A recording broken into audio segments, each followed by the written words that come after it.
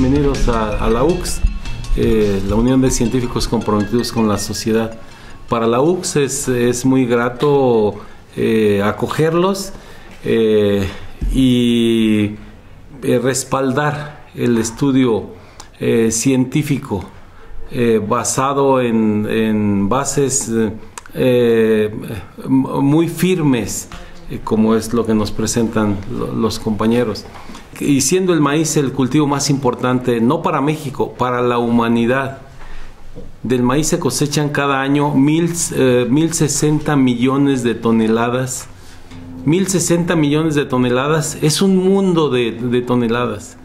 Es inimaginable si lo, si lo tuviésemos presente. Y el maíz, para orgullo de los mexicanos, fue creado, fue inventado por los, los mexicanos. Recorre el mundo, cada vez se, cultiva más, miles y miles de, de, hectáreas de superficie más, se come más cada vez. Y México produce alrededor de 23 millones de toneladas cada año. De esos 23 millones, 5 eh, millones vienen de Sinaloa. Quiere decir que 18 millones vienen del resto del, resto del país. México siembra en el 75% de, de, la superficie, que son 8 millones de hectáreas de maíz, maíces nativos.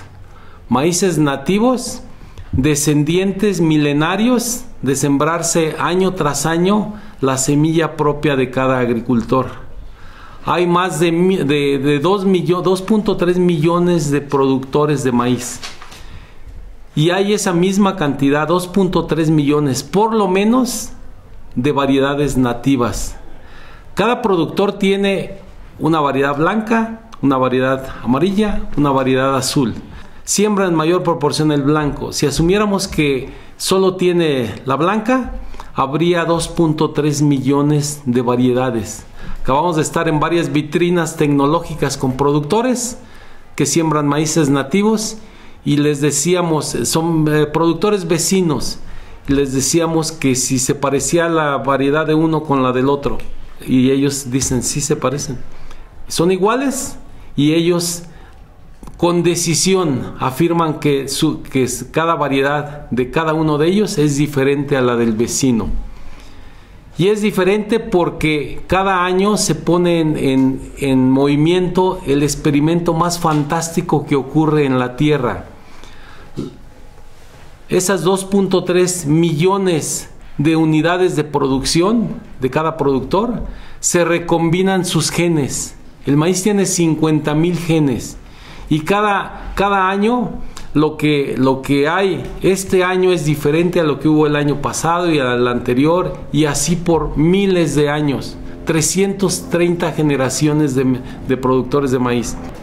Miles de variedades nativas es el boleto más formidable que tiene México ante el cambio climático.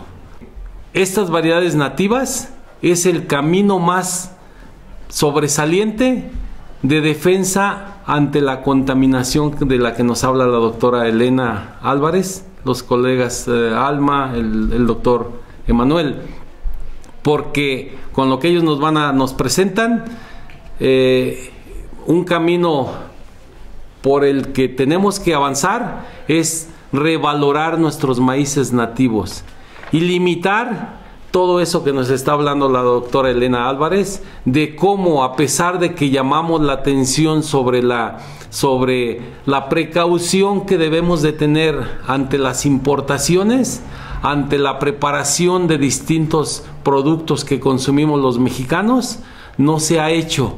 Y entonces los datos que nos presentan, el estudio, el, documento, eh, el, artículo científico de, excelente calidad que nos, que, del que nos van a hablar eh, un poco más con detalle, marca la pauta. La pauta para que desde la Unión de Científicos comprometidos con la sociedad respaldemos trabajos como el que ellos hacen lo mínimo que debería hacer un gobierno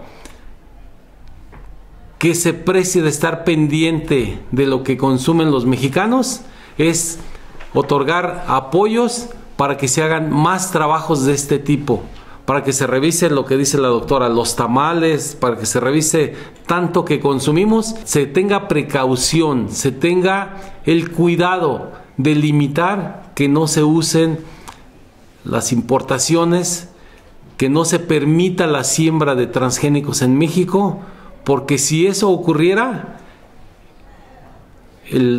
la crónica del desastre anunciado nos lo están presentando los compañeros. No quisiera tomar más tiempo, solo decirles que para, para nosotros, para la UX, la Unión de Científicos Comprometidos con la Sociedad, para el programa Agricultura y Alimentación, para cada uno de los científicos, sin intereses, lo único que nos mueve, que nos motiva, es estar pendientes de lo que le conviene a la sociedad, de respetar la naturaleza, de, de tener un ambiente sustentable hacia el futuro porque eso es las bases que dieron origen a la UX y es lo que nos motiva para seguir, para seguir en esta línea de, línea de acción, porque estamos en camino, estamos en un punto donde puede, eh, puede enmendarse eh, de manera correcta lo que no se ha hecho bien, lo que no se ha cuidado con, con esmero la salud de los mexicanos.